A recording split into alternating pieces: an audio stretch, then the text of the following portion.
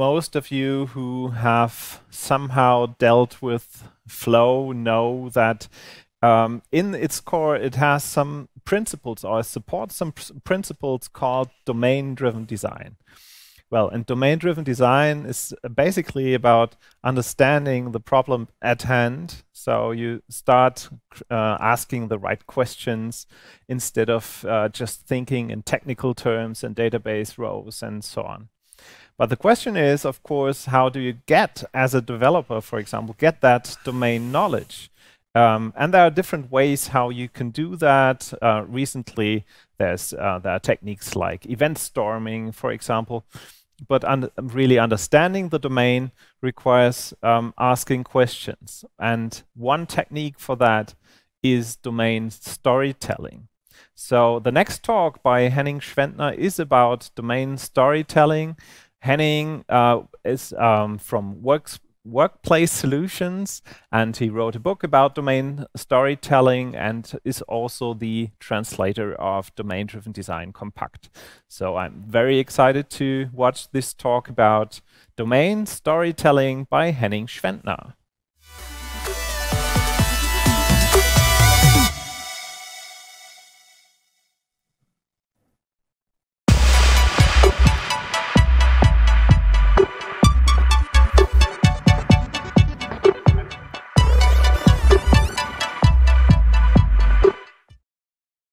everybody. Welcome to my talk, Domain Storytelling, here on the NeosCon.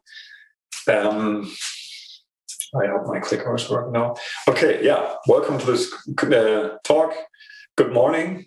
Um, when you will see this talk, I think it will be morning.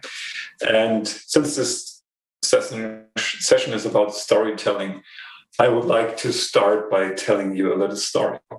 So get yourself comfortable and imagine a group of cavemen sitting around their fireplace, like you can see here outside. There's winter, the wind is howling, snow is falling, and it's a bit boring, of course. So one of the warriors stands up and tells the others a little story about how he hunted the mighty bison in the summertime that they are now eating and nourishing from in the wintertime.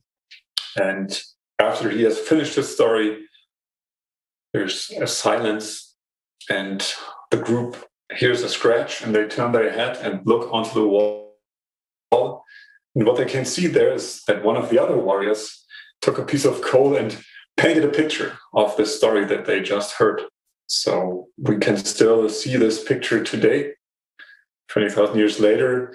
Um, this earliest piece of art, or one of the earliest pieces of art, of human art, um, bison hunt. And now, 16,000 years later, still the same is true for us modern human that we still like to spark a fire, tell a story, and paint a picture. And that's what we're doing in domain storytelling as well. Of course, it looks a little bit different for us modern men. So there's no fireplace anymore. The fire is now a whiteboard that we're gathering around. And that story is told by our domain experts, by our users. And the painting is no longer painted on a cave wall, but it is painted on a canvas or a whiteboard. Like you can see here, my friend and colleague Stefan is doing a domain storytelling session. Stefan is not here today, so you have to get along with me.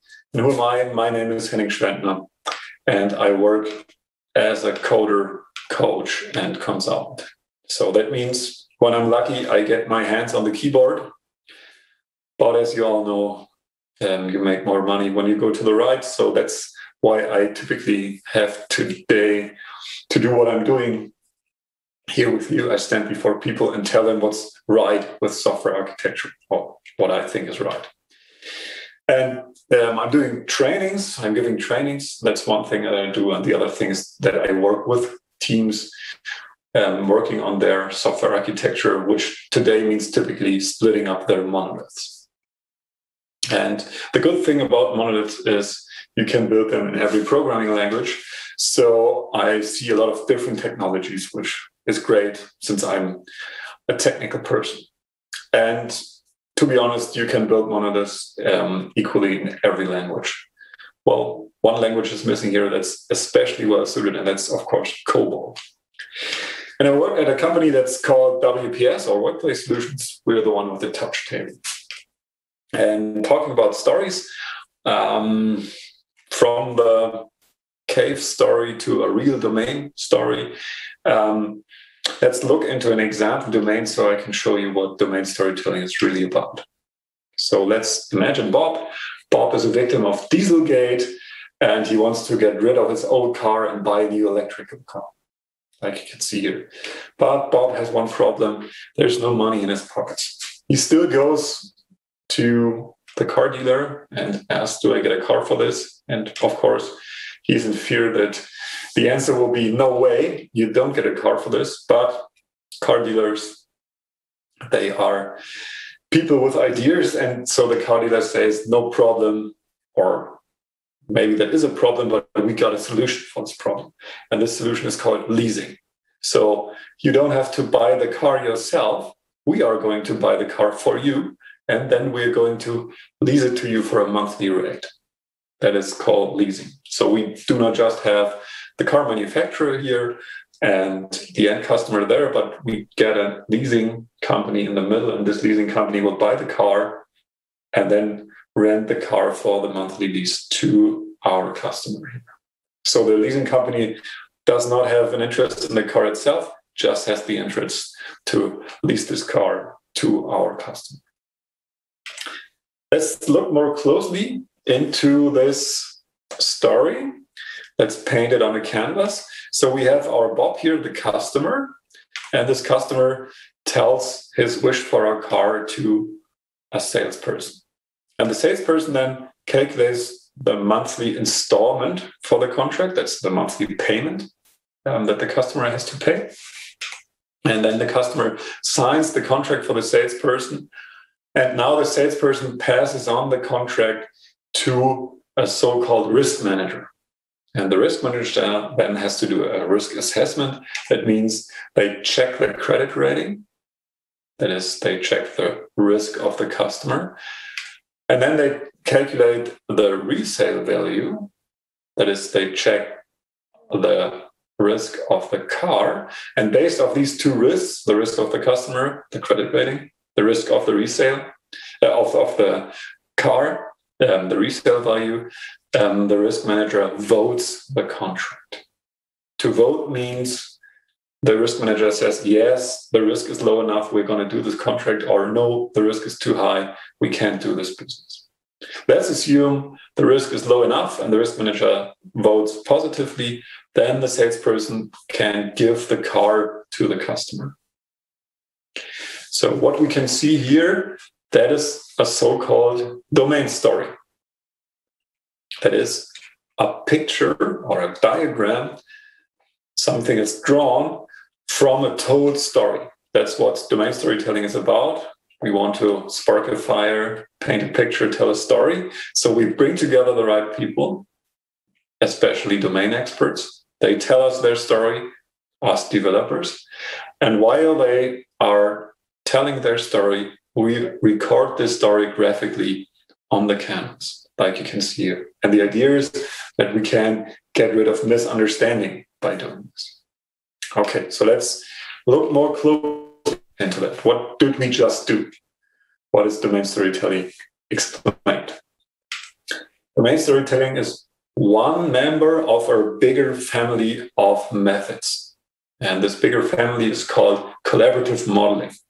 Collaborative modeling means we bring together, on the one hand, us, developers, and on the other hand, them, the domain experts, the users, the people that are using the software and the people that are building the software. And these two groups of people, they should work together on the domain to understand. And what they have to do is knowledge crunching. That's how DDD, domain driven design, calls it. Knowledge crunching means we chew on the domain knowledge until the juice gets out, the essence gets out. That's what we want to know about. And there are different methods in this family of collaborative modeling. User story mapping, is something that you might have heard about. Event storming, That's another method you, you might have heard about. Those two are methods with sticky notes. And then there's one method that we're talking about today that's domain storytelling. That's with stick figures and arrows. And what all these methods have in common is that we're modeling collaboratively, and that means it's important to have the right people in the room. Who are the right people? Of course, when you can get Chuck Norris, he's always the right people. But usually he just has to save the world. And so he won't have time for you. And then the right people are domain experts and developers. And talking about the domain experts, not any domain expert is right. We need those domain experts, those users who are really doing the work. Because we don't want to hear fairy tales. We want to hear what's really happening in the domain. So usually it's interesting what bosses say, how the work think they think is done, but we want real people from the trenches that are really doing the work because they understand what's really happening. And that's what we need to understand. And this is important for us because misunderstanding is so easily done, especially between domain experts and developers. So this is our domain expert here, and he thinks, well, I get this beautiful flying horse, and well, yeah, this is what he gets in real life down here. And this is often happening in software development. I don't have to tell you that, you probably know that. So collaborative modeling, domain storytelling is also about expectations management. We have to bring our expectations together. What really is possible building with software. And to build this common understanding, we just have a simple rule. The basic idea is pretty simple. We listen to the story, we hear sentences, sentences like the salesperson passes on the contract to the risk manager, and then we draw a picture of that. We draw a diagram. You hear the sentence, and you can see here this is the drawn sentence. Salesperson hands over the contract to the risk manager. And since we draw this, our user, our domain expert, can see what we are drawing. And he can then say, well, this is wrong or this is right. In this example here, he would probably say, well, I'm not handing the contract over. What I'm doing is I pass on the contract. If you look here, what he said is the salesperson passes on the contract to the risk manager and not hand over. Maybe he says, well, hand over is also okay hand over and passes on is the same for me. And maybe he says, no, it has to be passed on because in this particular domain, pass on and hand over have a different meaning. And these differences in meaning, that's these small differences in meaning. That's what we want to know about. That's what we want to learn because we want to understand our domain because then we can build the right software for it, right? Okay, so what we're doing is actively listening. Active listening means we are not just listening and nodding and say yes, yes, yes, and then we're split and he said red and I understood um, blue. But while we're listening, we're repeating what we understand. You can do this by rephrasing, by saying it again in your own words, or you can do it by drawing it. That's what we're doing in domain storytelling. We draw what we have understood. So we, we are mirroring our interview partner what we have understood, what they have said. And what we listen to, what we let tell them are concrete stories. Storytelling, that's something that's deeply human, that's deeply rooted in every human being. It's telling stories, listening to stories. In the opening story, we saw that's something that even the cavemen did already. And all of us have heard, for example, this fairy tale here, like Hansel and Gretel, um, sitting on the lap of our grandmother. So even children already enjoy telling stories and listening to stories. And we're using this here in the technique. So we let the domain experts tell their story. And what we're not doing is painting abstract processes, process modeling. That's something that also might be important later, but that's not something that's well suited for the communication between developers and domain experts because domain experts they are usually normal people, not developers. They have no formal education and formal methods, and they don't know what all these different signs here mean. That we have different cases and all this stuff. That's why we stick to stories, let them tell stories, and retell them, retell those stories by painting. And a story is not just made of one sentence, but of several sentences. So a domain story evolves and develops while it is told. So we start with sentence one here. The customer tells oh, this wish for a car to the salesperson, and we, we get to sentence two. The salesperson calculate the installment for the contract. So we have these small numbers here, so-called sequence numbers, and they bring time into the story. So we have time as a dimension here as well. And these pictures that we're painting, these diagrams that we're painting, they have a very basic so-called pictographic language. We have basically two kinds of icons and one kind of arrow. So what are the two kinds of icon?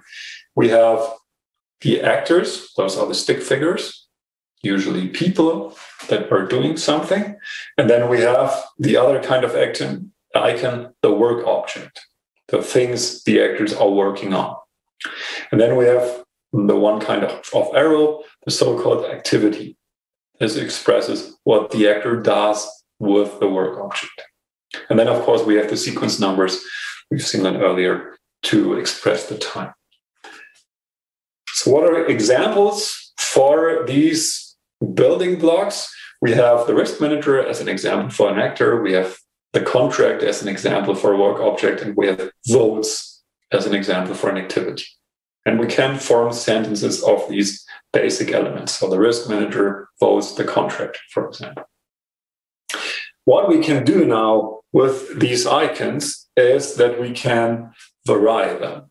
So we can use different icons for different actors. So we have a person here, or a group of people, or an IT system. All of them can be actors. Sometimes we put a hat on the head of a person or you tie um, something about their neck and whatever is suited in the domain that they are working on to express those people. And the same is, of course, true for the work objects. There we also can use different icons for different work objects when it makes sense. For example, we have this installment here with a dollar sign or this car icon for the car from my experience, it's um, a good idea to have different icons, but not too many different icons, so the language will not water down. So a handful, or two handful of icons is usually enough for one domain story or for a couple of domain stories that are in the same domain. And of course, we will find the same icons again to show the same thing. Or sometimes it makes sense to not use an icon that represents the thing itself, but it represents the medium over it, which is communicated. For example, here the, the contract is passed on a phone, the contract is signed on a piece of paper. So this pictographic language is pretty simple, of course. And I also want to point out what's not part of the pictographic language. And that is, we don't have cases here we don't have if else switch or in one domain story. And that is deliberately, that's by design. We do not want to have it in one domain story because we want one domain story to be simple and to be easily understandable as a whole. Also, when you think about it, stories are told from A to Z and not with if this happens, then that example, when we think about Hansel and Gretel, it doesn't go like if the sun is shining, Hansel and Gretel go into the forest and the witch is catching them.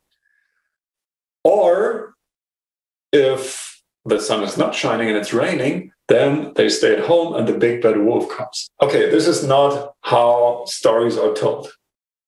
Stories tell one scenario uh, tell one case. And that's what we're doing with domain stories as well. We say domain storytelling is a scenario based method. That means we are usually not modeling only one domain story, but several stories to have these different cases, but also to go into different granularities. Maybe we have one big picture domain story and several more fine grained domain stories to go deeper into one domain. Okay, so that's one thing that's maybe special about this method that we're scenario based, that we do not have different cases in one picture. Another thing that you might have noticed is that, that actors appear only once and the work objects, they can appear several times. So we have the customer here, and he appears in step four, fills out the contract, and in step five, signs the contract. The contract here is twice the work object, the customer is only once. And we do this for several reasons. One reason is we want the stories to develop around the actors. That's why we have the actors only once. Plus, we want um, the pictures not to be too cluttered. And if we had another arrow from the customer here to the contract, that would be hard. And probably we're doing different things with um, the contract and we are passing it on to another customer. And then there's many arrows and you can't understand what's happening. And another thing is that we want to have boundaries inside. Okay, so now we can use domain storytelling on different media. The usual thing is painted on what we call a canvas that is a big white um, place like a big piece of paper or a flip chart or a whiteboard.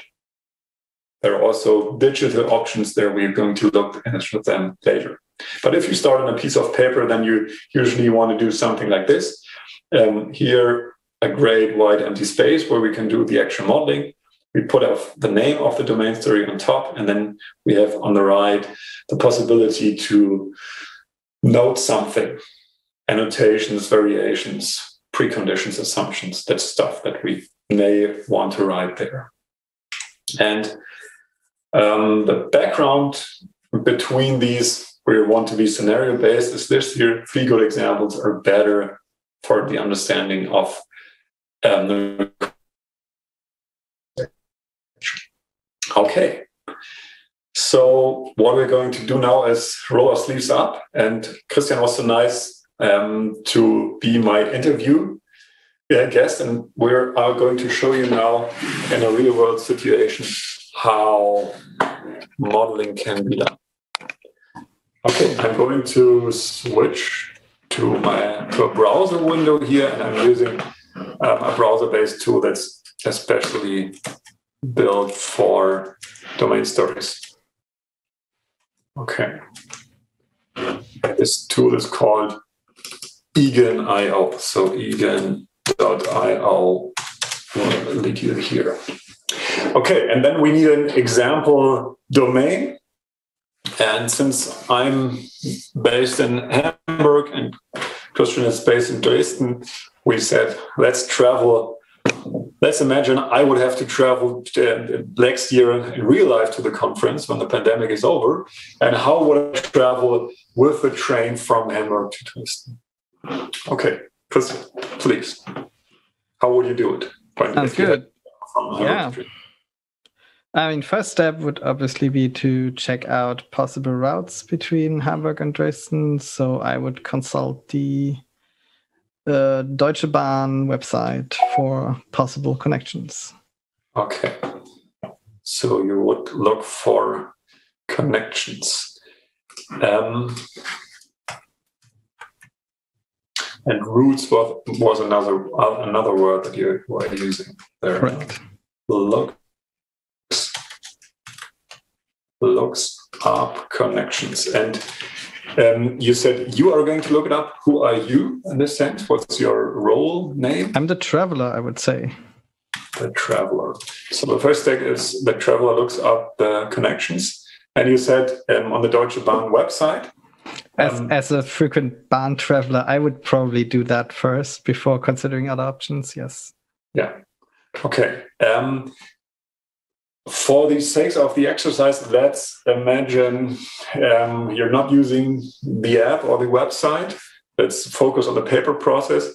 that often helps to understand building the, the, the project. I'm going to tell you later why that's a good idea. So let's imagine you're doing it the old fashioned way. Still, you're going to look up the connection, and then what are you going to do then?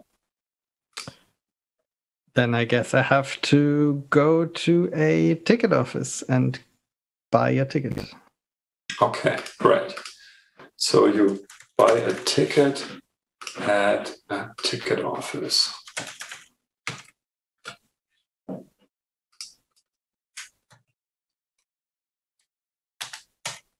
So step two, the traveler buys buys, sorry, ticket at the ticket office. Okay, and then? I guess then I uh, bought the train at the correct time, but uh, depends how much steps I, I want to take in between, right? Depends on the travel, I guess. Yeah, true, I agree. Um, so you board the train, um, and maybe there's something happening in between. Yes. You said you're doing that um, at the right time. I'm going to note that here you can see this. This is a note um, as another element of the pictographic language. Okay, so you board the train and then. I hope I hope the train is in uh, on time. Mm-hmm. and uh, I arrive at in Dresden at some point. I guess. And who's doing this? And who's um, starting the train or driving the train? Right. I guess the conductor, the train conductor. Okay. Well, then I, am going to model that as another actor. Sure. The conductor. Um, starts the train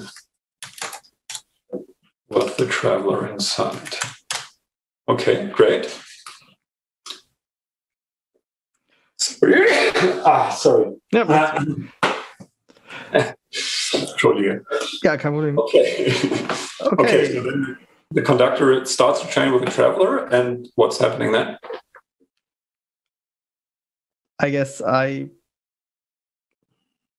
get off at the right stop. Mm-hmm. Okay. Um, the traveler gets off at the right stop. Is there a special name for that? Well, the uh, hmm. I guess as we as we model a specific connection between Hamburg and Dresden, I I would go with Dresden main station for now. Mm-hmm. Okay. I think when I think about that, probably right stop is better because um, yeah, that, that, that would um, would work for other for other stories as well. Okay. But obviously, cool. I would need to know when the right stop will happen. So I, I don't know if if we want to introduce the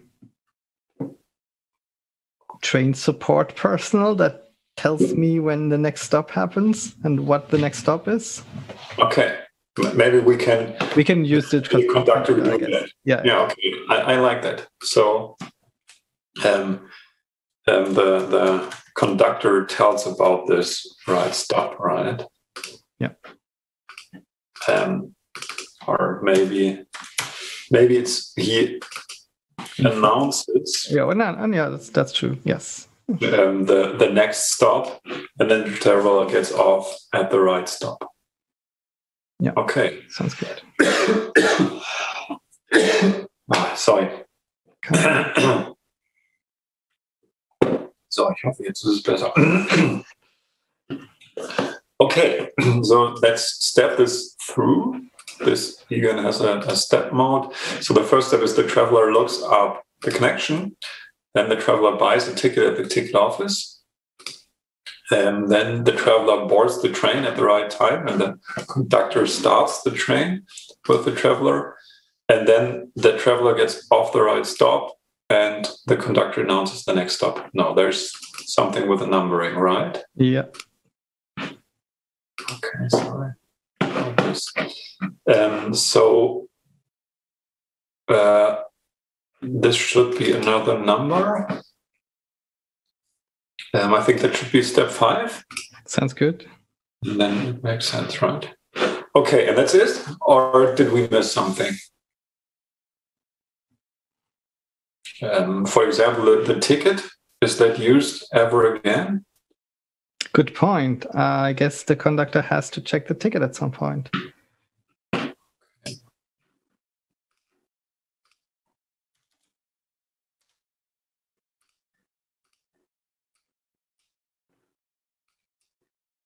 So the conductor checks the ticket. Um, you said at some point, what what would be the right point? Between between starting the train and announcing the next stop. In our case, I guess makes makes most sense. Yeah. Okay. So that would be five, I guess. Five and yeah. five, six, and seven. Yeah. Okay. Okay, this now assumes that the same conductor is starting the train and checking the trick ticket. Yeah, which is obviously not the case. So there would probably be two people. So is this guy also called conductor? I don't think so, but I'm not sure what they are called. It's like the okay, then let's train service, train service personnel, I guess. I, uh, yeah. Okay, train service. I guess train service is fine. Okay, great. Okay, and then we have a process. And that's cool. Okay, so as I said, we should give this a name. So travel by train is the right word. And yeah, Christian, thanks a lot. That's that's nice. Um, that's a nice process that we built here. And what are we using that for now? So we traveled now not from Hamburg to Munich, but from Hamburg to Dresden. But still, um, we painted a picture. What are we doing with this picture next? And there are several things that we can do with it, obviously. For us as developers, as software developers, as programmers, um, the usual uh, thing that we're going to do with this is we are going to design a program for that. And how can we use this for program design? When we talk about domain stories and design, then domain driven design is not far or as we call it, hashtag DD design. And um, domain driven design has this idea that we build the software in a way which is deeply rooted into the domain. So the idea is we build the software as a mirror of the domain. That means we take the work objects that we find in our domain and put them into the software. So we're building a model of the real world of the domain in the software. That's why we call it a domain model. Here you can see what a model is. Here we have, on the left hand, we have the real world. And here we have a model, something that's modeling the real world. And the model is always an abstraction, as we can see here. And how can we build this model with domain stories? How do we come from domain stories to code? Um, there's some basic rules. Um, the first rule is we look at the central work objects, and from these work objects, we build classes when we're object oriented. So we, for example, we found the contract here, customer signs contract, risk manager votes contract, and then we make a class out of this. Out of this, um, we, we build a class contract. Or the same would be true for the travel example. Uh, we would obviously have would want to have a class but with the name ticket. Okay, and the next thing, and that's maybe more interesting, is that we use the activities and we make methods out of them. So we're not only using the nouns like contract, but we're also using the verbs like sign and vote. And this way, we build a domain model, a model of the domain in code. And this is what we call a domain model with rich behavior, because we do not only have a, a, nice contract, a nice class name contract, we also have nice method names, sign and vote, that express what's happening in the domain. And that's something really good. And we can do this in an object oriented way here with classes and methods, but it's also possible to do this in a functional way, then it would be types and functions. But the idea is still the same. We still want to know the work objects and the activities. In DDD, we call this also an entity. And when we move on from here to code, then of course something like, look like this in Java. Okay, an der Stelle would probably be better to have an example in PHP, right? Okay, so and, and this uh, is um, the, the UML class that we saw earlier. If we want to implement it in code, then it would probably look something like this. So we have a class here, contract, and then we have methods, sign and vote. And yeah, this would of course work the same way in other languages as well. Okay. More or less, this is one of the basic ideas of object orientation. We take the objects of the real world and make objects out of them in the software. And we're not only taking the objects themselves, but also what's done to these objects, the actions. That's what later becomes the behavior in the software. So if you want to have a look more deeply into this, and want I see a real implementation of that, there's um, this small example which I'm using in my in my trainings. It's called Leasing Ninja. You will find it here at leasingninja.io, where I show this leasing domain and how we use domain storytelling and how we implement it in the end in different languages. There's an example in PHP, but I think that's a pretty early alpha version. So maybe you want to go with the Java version. So this is a basic um, overview um, about domain storytelling. I hope I got you um, a little more steps than you can see here, how to draw an all.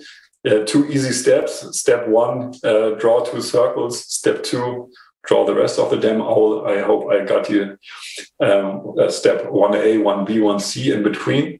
But still, of course, um, it's not easy to do. So if you want to go more deeply into that, um, I know somebody who's doing consulting um, with this stuff. And if you want to know more about domain storytelling, um, I have to look on my watch, and I think um, we have um, two more minutes left to see one of the details there. So one thing that's interesting is there are there are different modes that you can use domain storytelling in. So there's a moderated mode. That's what Christian and I were doing. I was the moderator, and the moderator, and we're asking questions, uh, like Stefan is doing here. And then there's also the co-op mode, the cooperative mode, which means um, um, everybody can ask questions everybody else and the people are working together and modeling together like we can see here. Everybody is um, on the same eye level and they're building all this stuff. And there um, here's another another example this is uh, especially fun on a whiteboard. And when you're doing this co-op mode um, what usually um, it, it usually helps with that this is here not happening too much, that somebody's inter- uh, interrupted because um, this mobile rings or all this stuff. So if you have an experienced group of people that are used to um, the method, then it's usually more fun to do it in a co-op mode. On the other hand, moderated mode is also nice uh, for the right situation, especially if you have shy persons there, and it's good to have a moderator who asks not only um, the loud people, but also there are people that are not so loud. And then, of course, there are different tools that you can use domain storytelling. We saw um, whiteboards and flip charts here. Um, we saw PowerPoint. That's what I showed you here. That's a medium. Well, that's not too well suited for um, a workshop situation. I, I, wouldn't recommend PowerPoint there, of course. There, in a workshop situation, I like using a whiteboard um, with sticky notes because whiteboard and sticky notes, then you can easily move things around, do refactorings easily. And if you don't have a whiteboard, um, a flip chart or some brown paper on the wall may also help. But um, here the arrows are more permanent, and that's of course not as much as fun because you have to cross them off and so on.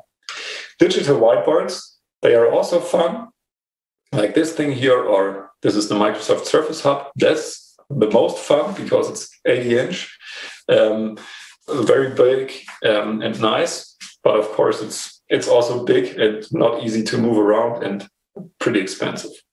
Um, another thing that I like is this here, um, a tablet with um, with an, um, a pencil. Yeah, that's something that's also working now in these pandemic times where you might want to draw it on a Miro board or something like that, a virtual whiteboard that everybody else who's not in the same room can also use. And then there's, of course, Egon, Egon.io. Um, that's the tool that I were using together with Christian. And Egon is um, open source. You can find it on GitHub. It's uh, JavaScript stuff. Okay, how to move on from here? Um, I like to give you some further reading. Domainstorytelling.org. That's the website for the method if you want to go deeply uh, more deep into it. And if you want to read something more comprehensive, then th- this is the official book written by my colleague Stefan and me, Domain Storytelling. Um, it's published on Leanpub. You can buy it there for $15, but you don't have to buy it for $15. NeosCon um, attendees get it for $10 if you use this coupon code here. So, and now would be the time to take a screenshot of this QR code here so.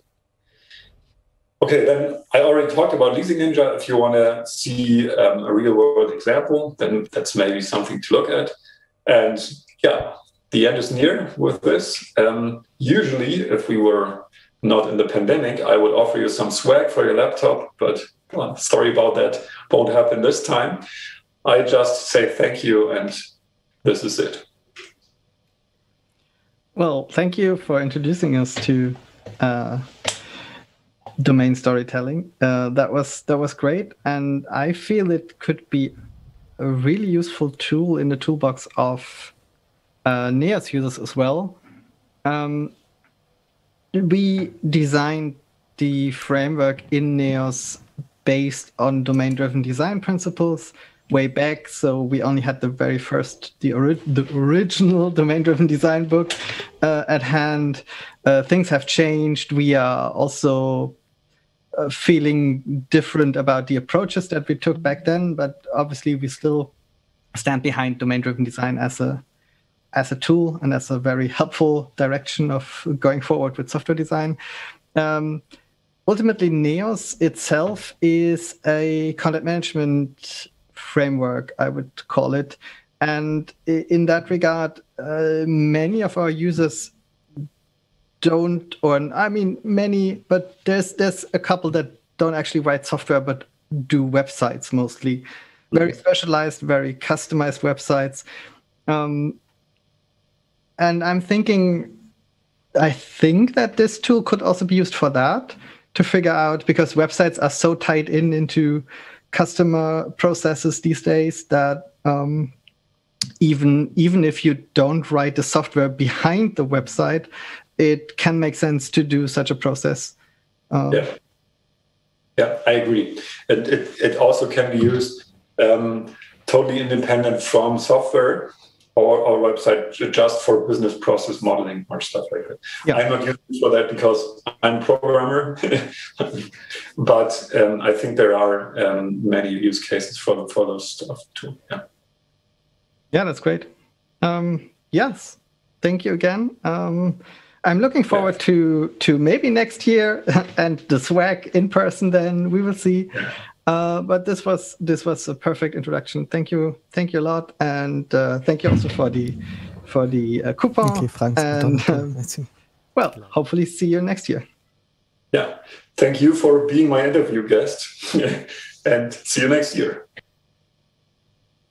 Yeah, thank you, Henning, for this presentation, and also thank you to Christian for uh, moderating this uh, talk at the end. Um, so, domain-driven design has been an important part for the NEOS project and has evolved, as, as Christian also said, throughout the years. Um, maybe uh, just as a um, reminder, I I participated in, in one of the conferences, the Domain-Driven Design Conference, uh, Domain-Driven Europe, uh, co-organized by Mathias Verraes, who also helped us um, uh, with the architecture of the NEOS uh, content repository.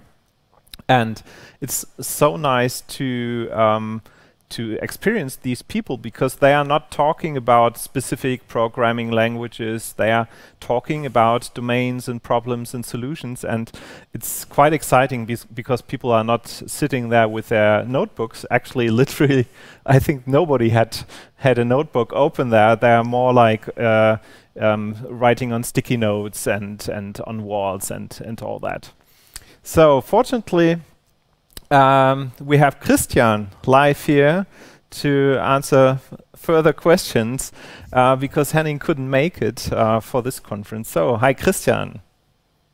Hi, Robert. So, what's what's your impression uh, about domain storytelling? Did you know that technique before, or how do you put that into the toolboxes you already know? Yeah, no, I didn't know it beforehand. I had a look at it um, for the talk, and I think I will have a further look at it.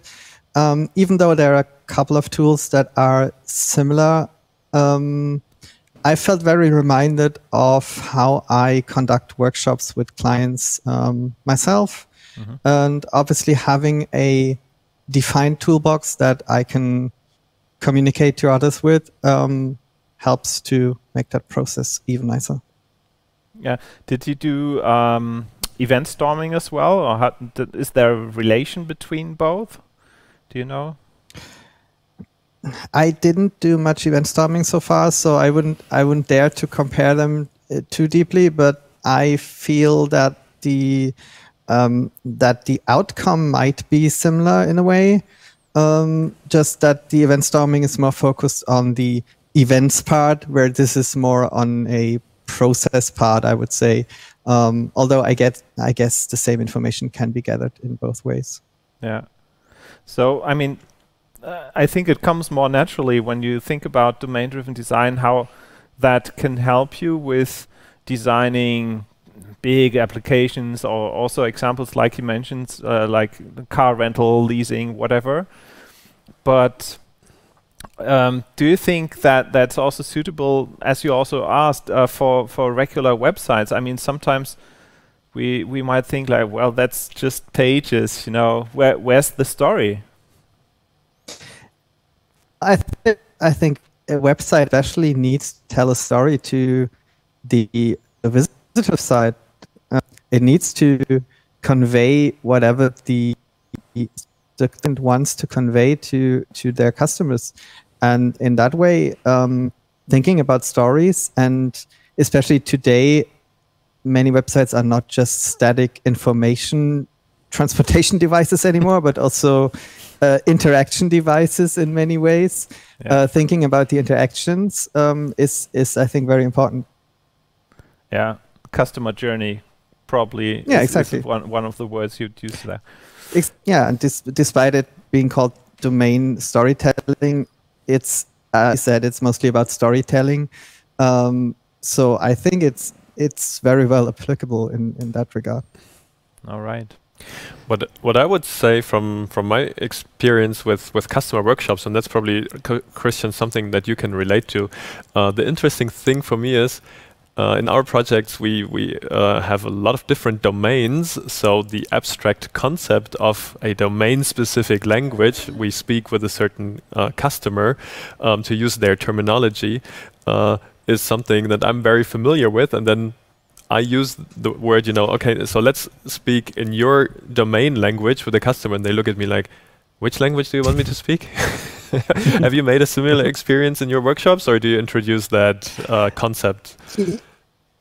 Yeah, I, I actually tried mentioning it as a because it's it's kind of a technical concept. I feel uh, it's something I, I keep on the on the development side rather just try to by listening to to clients um, figuring out what they call things. Um, so either I just describe what I'm talking about, or I just let them drive it, and then get what terms they use. Just try to apply those in the project instead of trying to explain them what a, a domain-specific language is and how they uh, how they should tell me the diction for the and all that. And from from a technical perspective, I always uh, experience that as a it is a kind of translation. then for for me at least, I don't know how it is for you, Robert, but for me it's like okay, there's a customer language and there's a technical language in the background, and, and, and matching those two together and this concept of the domain-driven design um, is is a very useful tool um, to to bridge that translation gap.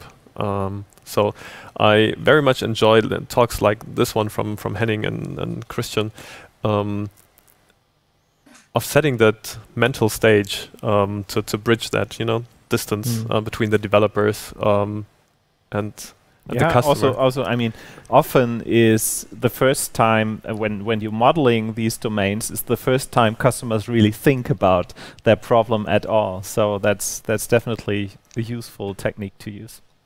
Well, thank you, that's Christian. absolutely for me. Oh, yeah. Sorry. Oh, yeah. Hmm? Hmm? With with Christian, I always need to ask him um, something very specific.